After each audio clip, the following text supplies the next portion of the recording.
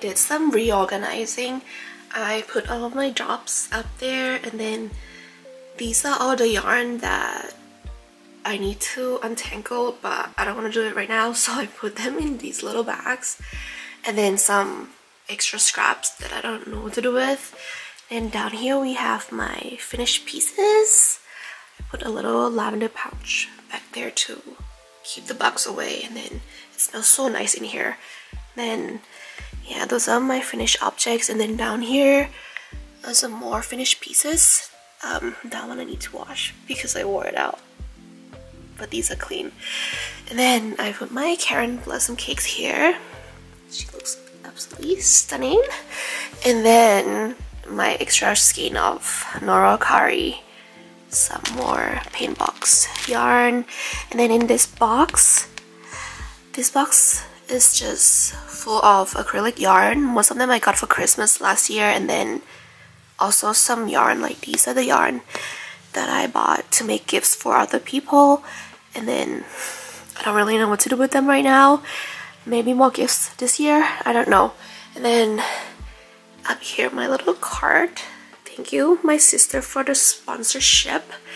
I have my yarn for an ongoing project and then here is just like almost a finished piece but like I just need to add the eyelet closure to my vest my WIP here and then um, here is just yarn for my ongoing project as well and then down here uh, all the yarn that I recently got.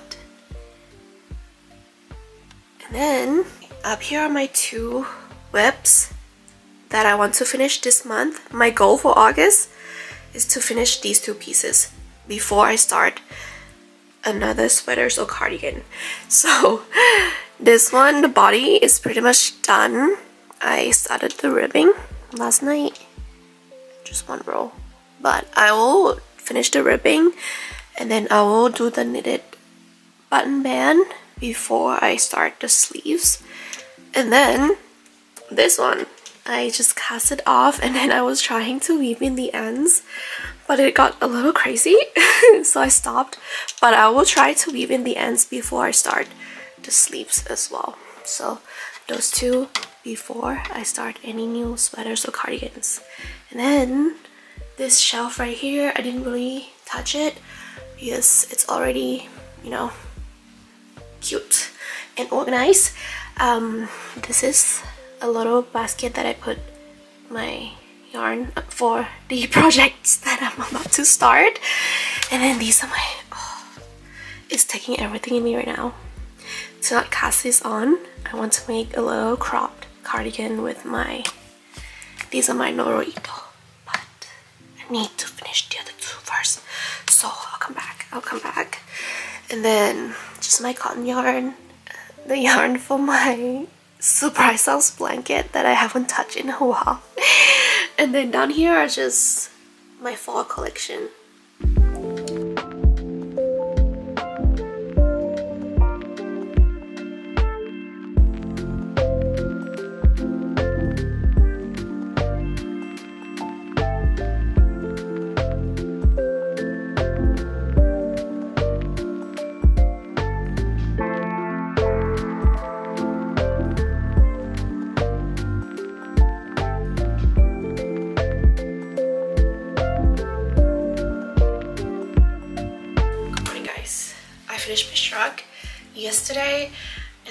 washed and blocked it and I'm really happy with how it turned out. It's so soft. The yarn is so soft and stretchy. A little too stretchy to the point that it stretches out the front and the back panel. So now it's like all the way out here. so like it makes this gap here really big. But I feel like that's normal, right? That's normal for like shrugs and boleros Please tell me it's normal. but yeah um i just think i made the front and the back pieces too wide. I didn't intend it to be like off the shoulder but because the yarn is so stretchy um it's off the shoulder. I guess that's normal with merino like animal fibers in general. Maybe i'm just so used to using cotton yarn. This is the loops and threads Lux Merino. It's acrylic and merino blend. I really like it. I really like this yarn. It's super soft, super lightweight. It's number three DK weight.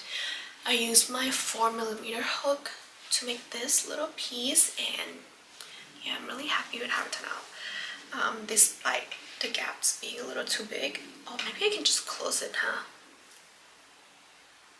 But then it would look like kind of funny, no? Anyway, um, I don't mind it. I don't mind it. It's not a big deal. I need to in the ends, so that's first thing done. And then my goal for today, my goal for today, I really wanna finish my. I really wanna finish the ribbing on my cardigan. Um, I did get quite a lot done. I want to finish this and then I'll cast it off. Then I'm going to add the closure on my vest as well. That's two things I want to get done today. I'm trying to finish a lot of WIPs this month uh, in August. This is the first one that I wanted to finish and then these two pieces and then my Tweedy striped sweater and also I still have my crochet backless top that I want to finish uh, this month, not this week, okay? That's a little too unrealistic but um yeah i'm just trying to finish a lot of pieces that i start before august. I don't think there's anything wrong with having so many WIPs at the same time because i'm the type of person that get bored very easily. So i like to switch things up when i get bored of one project and then i have something else available to me to work on. But it does get a little overwhelming. Like it's getting overwhelming right now. I can be pretty impulsive. I would want to start projects left and right. So I made a little rewarding system for myself. This only applies to bigger projects like cardigan and sweaters, okay? I will only cast on another sweater or cardigan after I finish these two sweater and cardigan. In the back of my mind, I know like, oh my god, I have so many things that I need to finish. I have like, everything is all over the place. That's why I get a little anxious. So trying to be nice to myself and then finish what I have first and then start a new project. Little tip when you get a little overwhelmed, just write down the tasks for the day. Try to pick like one or two things that I really want to get it done on that day and then I'll try to do it like this. I did finish my strap. Really proud of myself. Really happy that I did that. And then, yeah, today is binding off my cardigan and then adding the closure onto my vest. I'll try to get these done today and then I'll catch you guys later.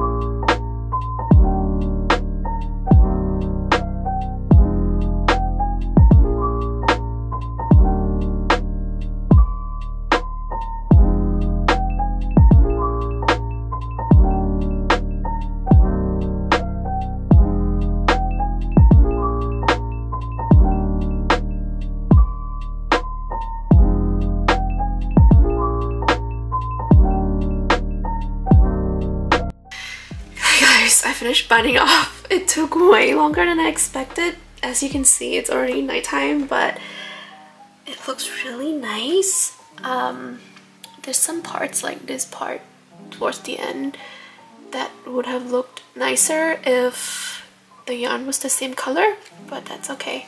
That's fine. Like down here, it looks really good, but I did mess up. I think I dropped like two stitches along the way, so I kind of just took uh, scrap yarn and then I kind of just went in and connected two stitches together. Um, I don't think you can really tell. I mean this one you can because it's a different color but here looks okay. But yeah she's off the needles. Um gonna find a day to do the double knitting and then start the sleeves. I'm excited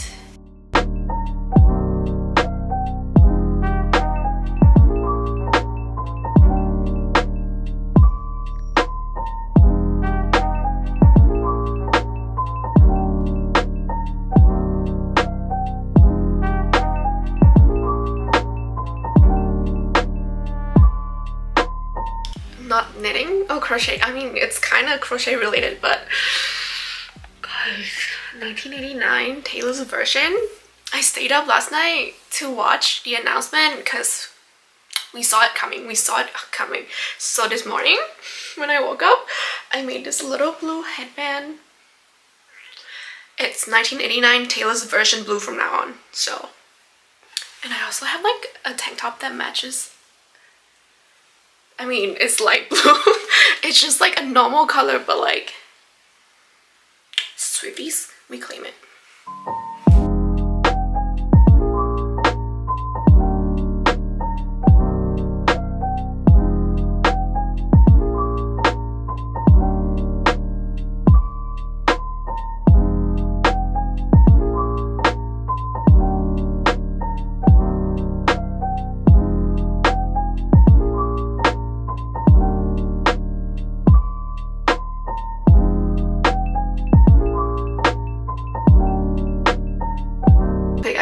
Over the place right now. so, we all know I got this yarn to make the pie camisole, the easy cam merino. But lately I've been thinking about this top right here, right? I saw this on Handmade by Florence podcast Instagram like a while ago like she talks about it a lot and I don't know I'm kind of vibing with this like it. And I feel like I'll wear it more. I would wear it more than the other one. So I think that's what we're gonna do. I was like working on my crochet top and then I got distracted and then I started making a swatch. That's how it is. That's how messy it is right now. But I'm vibing with this. I think I'm gonna go for it.